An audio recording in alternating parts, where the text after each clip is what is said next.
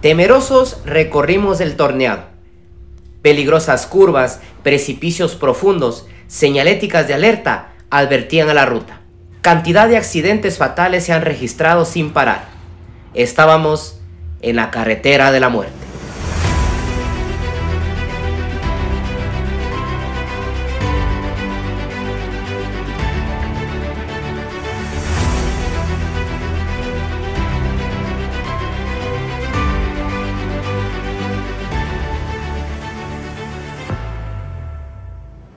Viajeros, viajeros, nuestra ruta inicia acá desde el cantón Chimbo, en la provincia de Bolívar.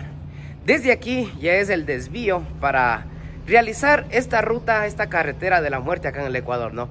Espero que disfruten de este viaje porque es uno de los... Es uno de los más peligrosos, puedo decir, porque es una vía súper, súper, súper angosta, con muchas curvas. Entonces ya vamos a ir poco a poco en esta aventura y les vamos a ir dando también los el rumbo, ¿no? Para que lleguen a este lugar. Les presento algo de la parte central. Miren, hay muchísimas casitas antiguas.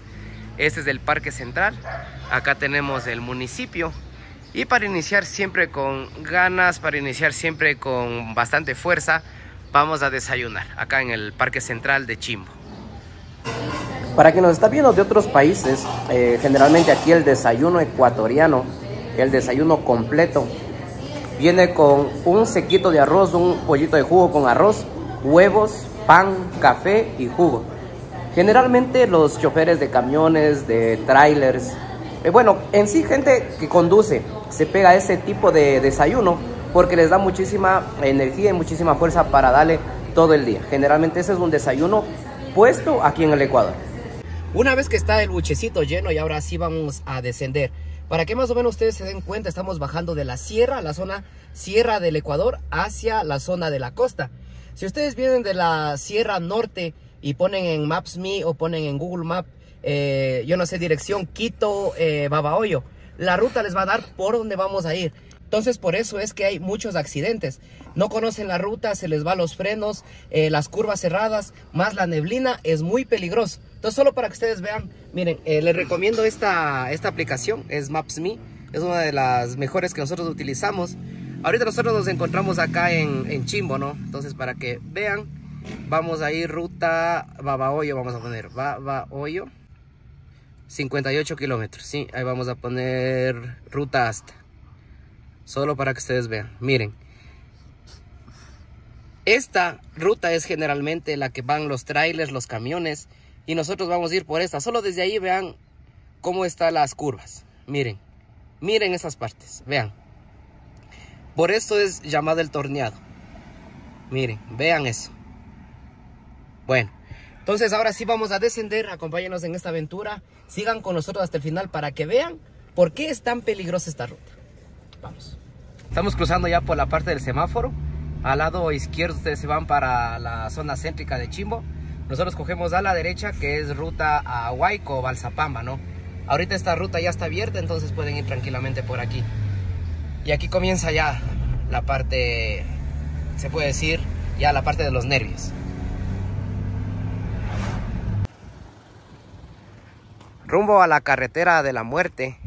Miren quién se asoma ahí en el horizonte. Nada más ni nada menos que el Taita Chimborazo.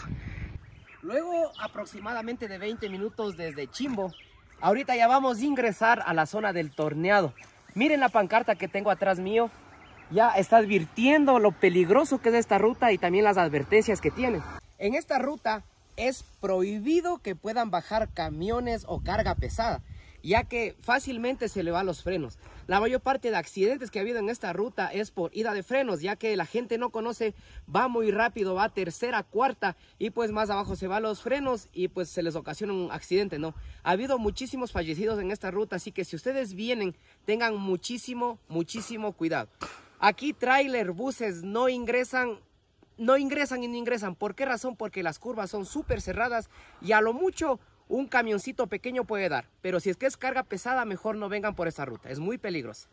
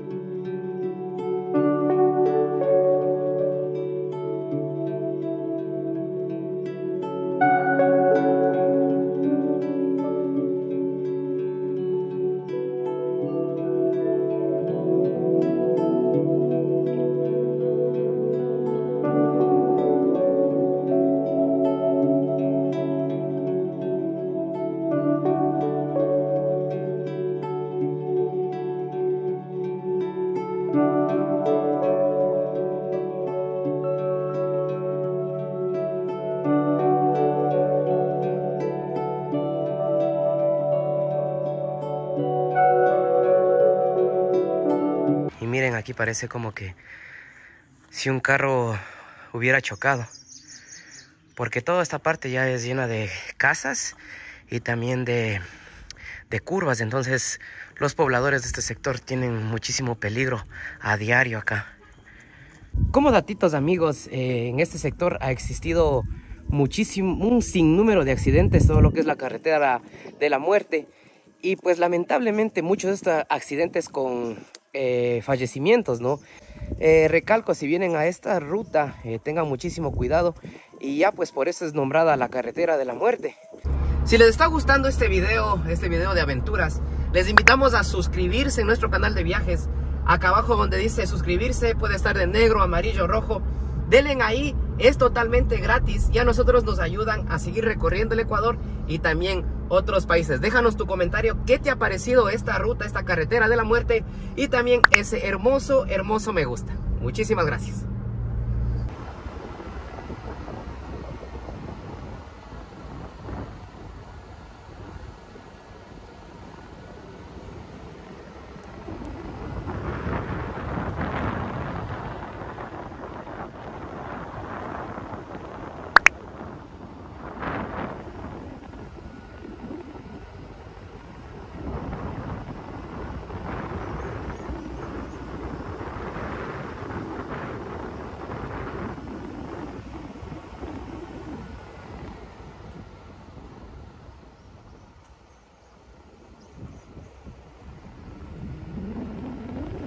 Cada vez que pasábamos por zonas pobladas, se veía que en las curvas existían muros de contención, ya que se ha registrado que vehículos sin frenos chocan contra las casas, provocando un sinnúmero de muertes.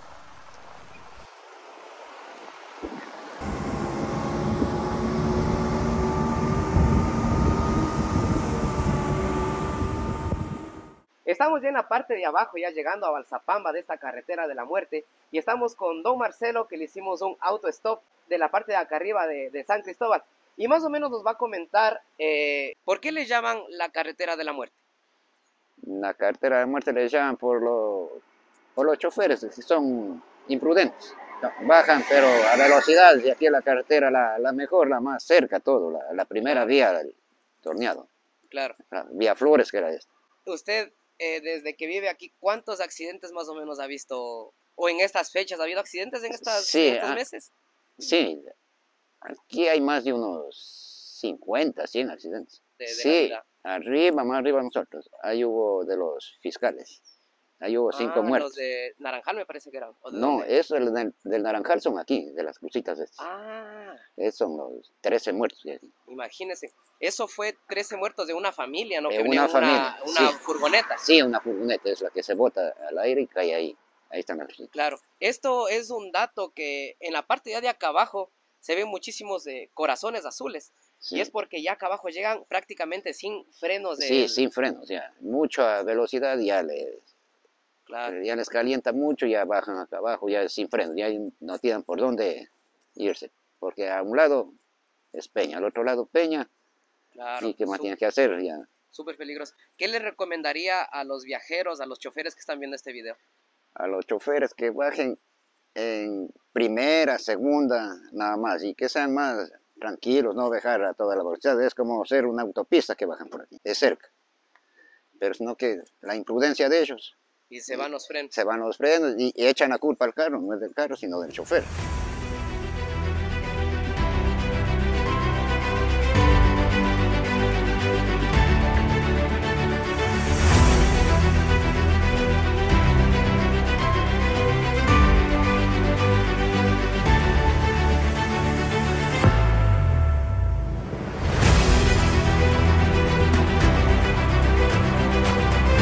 Este tipo de video que estamos realizando en la carretera de la muerte no es más para hablar sobre los fallecidos o los accidentes. Es más para que ustedes tengan eh, la precaución que si cogen esta carretera no vengan rápido. Hay curvas exageradamente cerradas y con neblina eso es, eso es tenaz, es algo, algo ya que no se puede controlar en velocidad, quizá lluvia o neblina. Entonces si vienen, por favor, tengan muchísimo, muchísimo cuidado.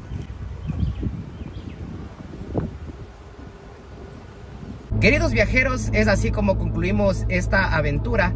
Muchos se preguntarán eh, qué pasó con él y por qué no salió en, esta, en este video. Ella tuvo eh, terapia el día de ahora por su hombro, pero les converso que ya está muchísimo mejor. Hoy me acompaña Andrés, eh, él me acolitó en este viaje, en esta ruta. Y pues desde la provincia de Los Ríos nos despedimos de esta aventura. Hasta pronto, viajeros.